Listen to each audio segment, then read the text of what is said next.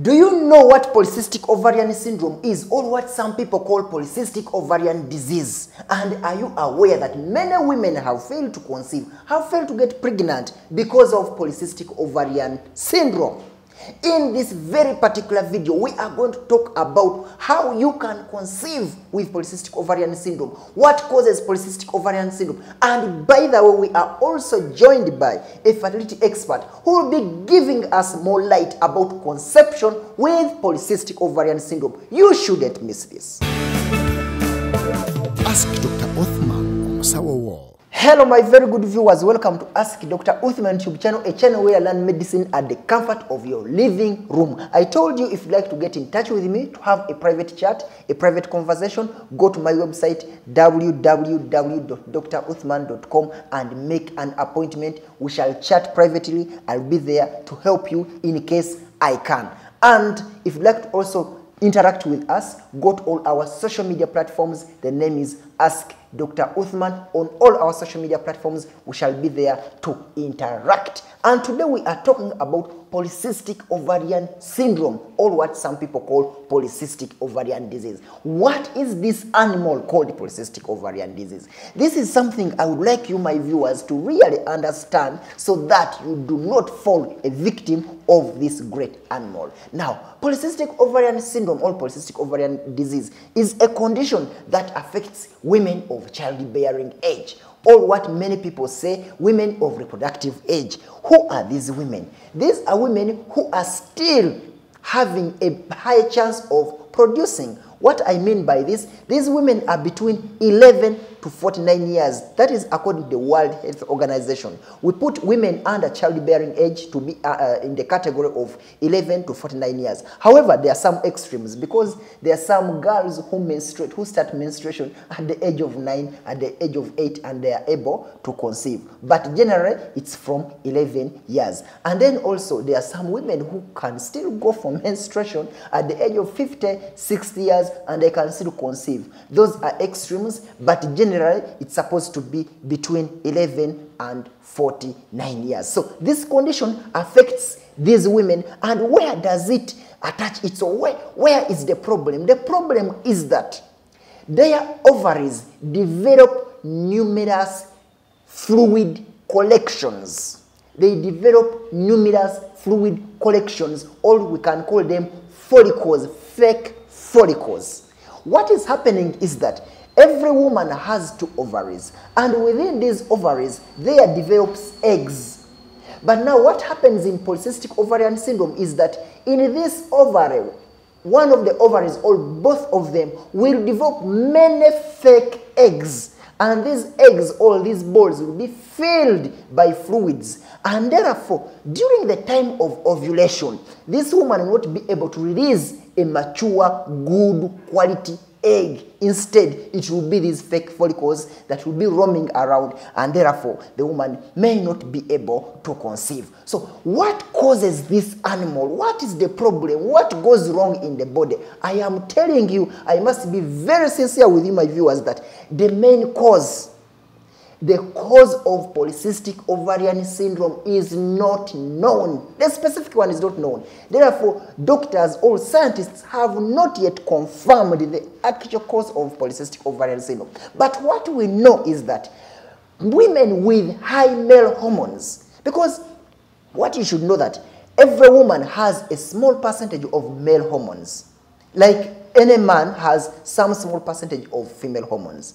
But now, if the male hormones increase in a woman, and at times they can even outweigh eh, the levels of uh, the female hormones, then this woman is likely to develop polycystic ovarian disease. And therefore, this is one of the areas where doctors have really said, no, most women who have polycystic ovarian syndrome actually have such and such. Therefore, if you have high levels of male hormones, you have higher chances or you are at a great risk of developing polycystic ovarian syndrome or polycystic ovarian disease. And we have also found that this stuff runs within the families. Especially the first degree relatives. So if your mother had polycystic ovarian syndrome, or your sister, or any of your first degree relatives, then there are very high chances, or you are at a very great risk, or you're prone to getting PCOS or PCOD. And also, Another issue is abnormal hormones, especially the insulin. It has also been found that people with high levels of insulin in body are prone to getting to, to, to getting polycystic ovarian syndrome. That's why polycystic ovarian syndrome is common in people with uh, diabetes type 2 and there are theories also suggesting that diabetes type 2 can lead to polycystic ovarian syndrome so any of them can lead to the other but what we know is that with dm type 2 you are likely uh, to get polycystic ovarian syndrome. Also people who are obese people who have overweight are at a great risk of getting polycystic ovarian syndrome. Now that we know about the risk factors or what causes the polycystic ovarian syndrome, we need to understand what are the signs and symptoms of ovarian syndrome of polycystic ovarian disease. When will, how will you know that you have polycystic ovarian disease? This is the time I am joined by Dr. Amarach, a fertility expert from Nigeria. Let's understand from her what are the signs and symptoms of polycystic ovarian syndrome. Dr. Amaraj, so how does a person with polycystic ovarian syndrome look like, or how do, can someone know that they do have polycystic ovarian disease?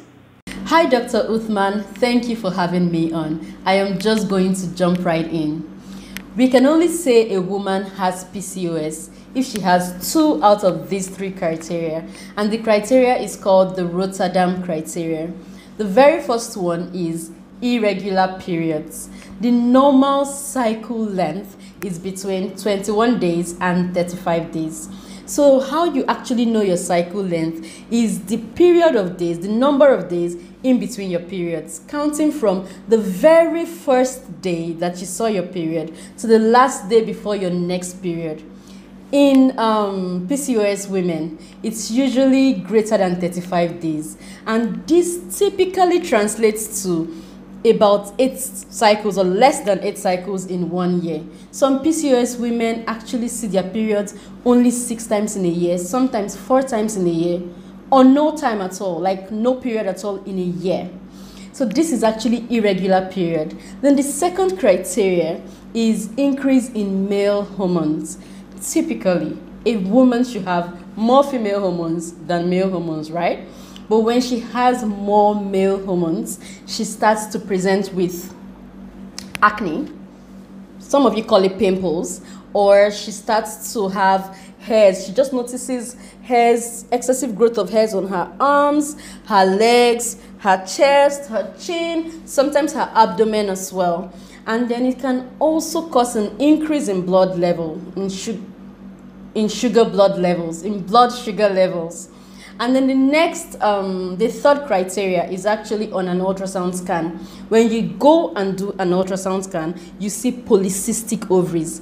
It's just, it shows like small, tiny black circles at the edge of the ovary. And these are cysts.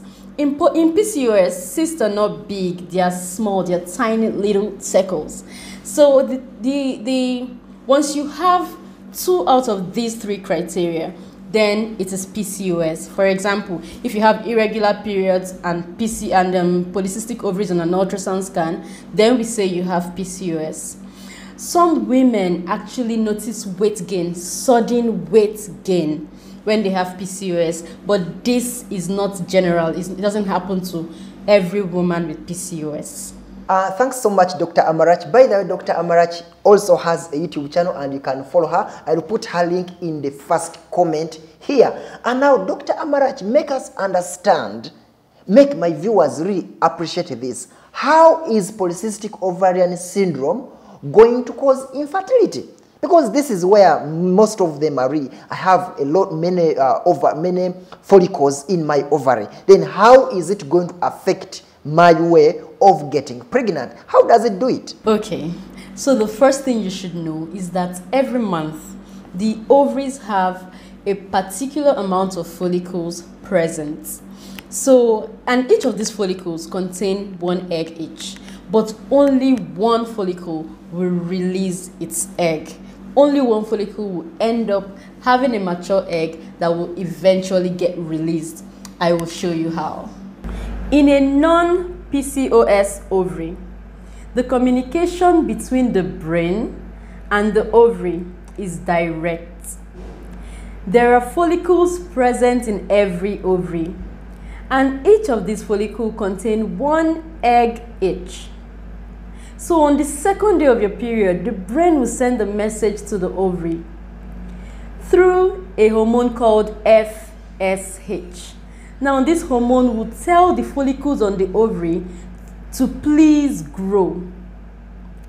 At some point in your cycle, one or two of the follicles will decide to grow. And when it grows, the egg inside it will mature and it will now release the egg into the fallopian tube. This process is called ovulation.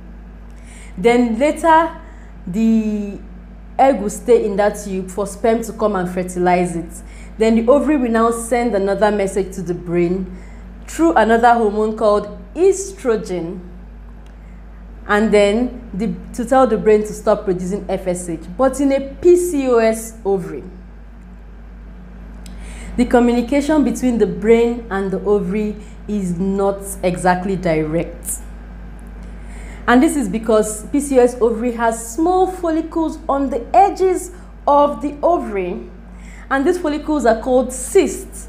On the second day of your period, the brain will send a message, just like in the non-PCOS ovary, to the ovary through FSH to tell the ovaries, to tell these follicles to grow. This tiny little cyst, but none of them will respond. None.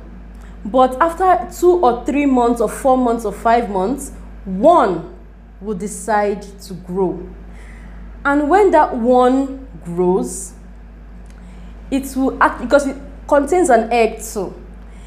It will grow and release a mature egg into the fallopian tube, also called ovulation. Now, the egg will wait for a sperm to come and fertilize it. After this happens, the, the ovary will send a message to the brain through that same hormone, estrogen, to tell the brain to stop producing FSH.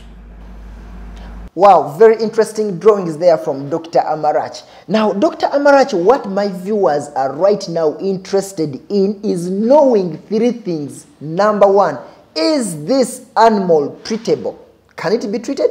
Number two, is it curable? Can I get rid of it completely? And lastly, which is very, very important, can someone with polycystic ovarian syndrome get pregnant?